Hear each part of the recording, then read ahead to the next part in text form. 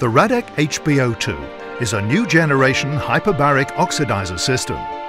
It is a fully integrated system specifically designed to quantitatively oxidize combustible materials to water and carbon dioxide using an excess of oxygen in a closed pressure vessel.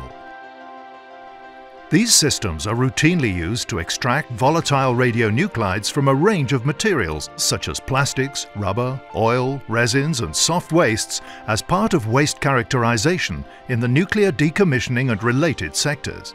In addition, foodstuffs and environmental materials such as biota are also readily decomposed to provide representative samples of tritium and carbon-14 for analysis. The heart of the HBO is a 5-litre precision-engineered pressure vessel designed to safely operate up to 95 bar.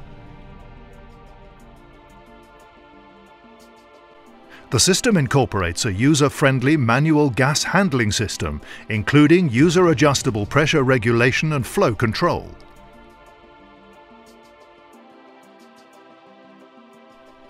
A wide variety of input and output connections are incorporated into the advanced design of the HBO2.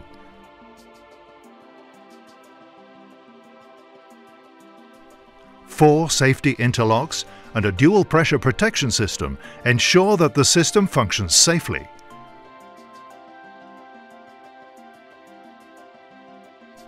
Unique features of the HBO2 include a novel, easy-to-use door closure mechanism a combustion viewing window and pressure and temperature displays for real-time monitoring. The rugged door opens to conveniently allow manual loading of the DC ignition wire and pressed samples prior to combustion.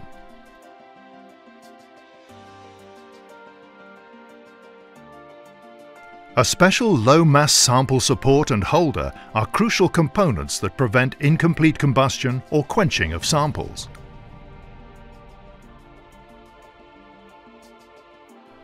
The integrated viewing port allows the complete sample combustion process from start to finish to be viewed directly if desired alongside the digital indicators.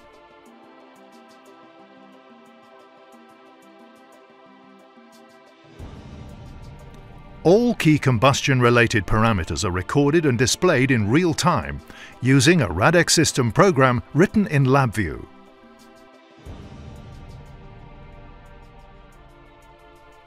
The product gases produced during complete oxidation of materials are quantitatively collected through a cryo-trapping system that uses vacuum-grade glass condenser tubes fitted inside a graphite heat exchanger block. Let's have a look at a typical combustion cycle. Preparing a sample for quantitative oxidation starts with loading a compacted sample into the burn position of the HBO2 sample chamber. Samples of up to 30 grams are placed in a special silica crucible. Samples can be any combustible solid or liquid, although non-combustible samples can be included if mixed with a combustion promoter. After sample loading, a replaceable ignition wire is made to contact the sample that will initiate combustion. The chamber door with its special rotary locking system is closed, which engages the first of four security interlocks. Oxygen is introduced through a check valve from a compressed gas cylinder until 20 bar is reached, after which the inlet valves are closed for safety.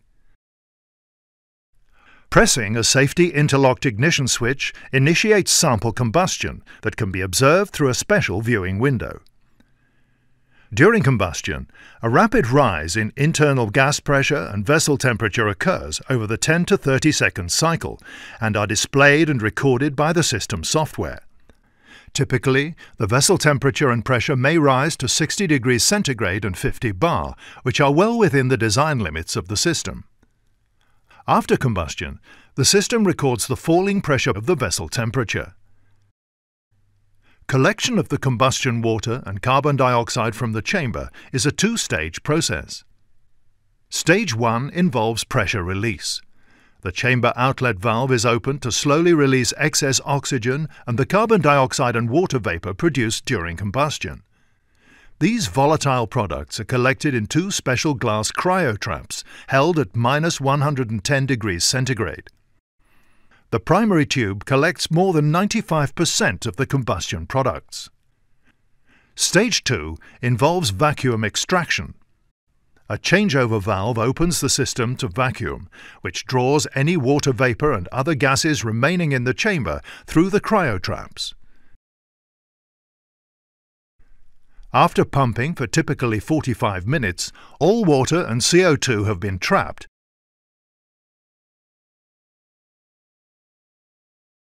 and the chamber can be opened. The whole process from loading through ignition, venting and vacuum extraction typically takes one hour per sample. Cleaning and preparing the system for another burn can be completed in less than 30 minutes. The HBO2 hyperbaric oxidizer is a proven analytical device that has been in routine use in radioanalytical laboratories since 2012. Complete combustion of samples takes less than one minute. The high-capacity combustion chamber results in complete sample oxidation. Completely converts most combustible materials to water and carbon dioxide.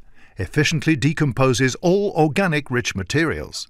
The oxidation of large samples offers improved limits of detection compared to thermal oxidizers.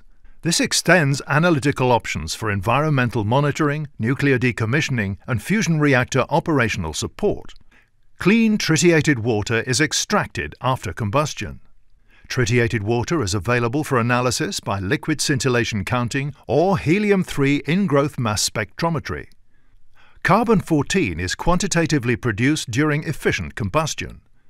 Carbon dioxide is trapped and made available for analysis by liquid scintillation counting.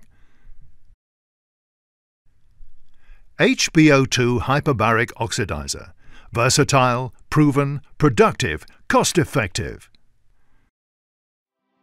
For further information, please see the detailed video and PDF media available for each of our products at www.raddec.com.